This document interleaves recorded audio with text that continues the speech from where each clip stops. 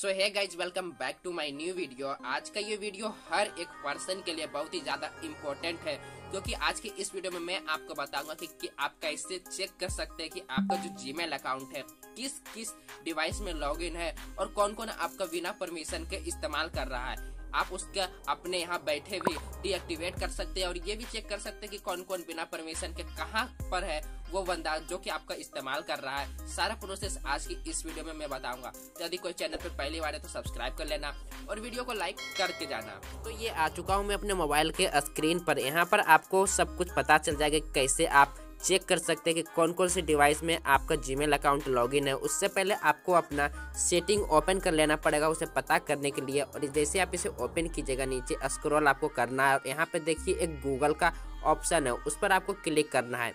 जैसे आप इस पर क्लिक कीजिएगा, थोड़ी देर ये लोड लगा, उसके बाद आपके जीमेल अकाउंट के साथ ये लॉगिन हो जाएगा। अगर आपने इसे पहले लॉगिन करके रखा है तो तो यहाँ पे देखिए मेरा लॉगिन हो चुका है। यहाँ पे आपको मैनेज योर गूगल अकाउंट पर क्लिक करना है। जैसे आप इस पर क्लिक कीजिएगा, इतना सारा ऑप्शन यहाँ पे खुल के आएगा।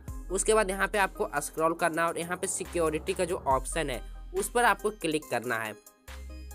जैसे आप इस पर क्लिक कीजिएगा तो यहाँ पे आपको सारा स्टेप दिख जाएगा कि आपने टू स्टेप वेरिफिकेशन ऑन कर रखा है और सारा प्रोसेस आपने कर रखा है और उसी प्रकार से यहाँ पे सारा आपको जो मेन डेटा है, वो यहाँ पे शो कर देगा और वहीं नीचे में आपको आते ही यहाँ पर आपको वो डिवाइस शो कर देगा, जो आपके लॉगिन कर रखा है आपके जीमेल अकाउंट से, या जिस पर भी आपका जीमेल अकाउंट वर्क कर रहा है। तो यहाँ पे देखिए मेरे तीन डिवाइस यहाँ पे शो कर रहे हैं, जिस पे मेरा जीमेल अकाउंट वर्क कर रहा है।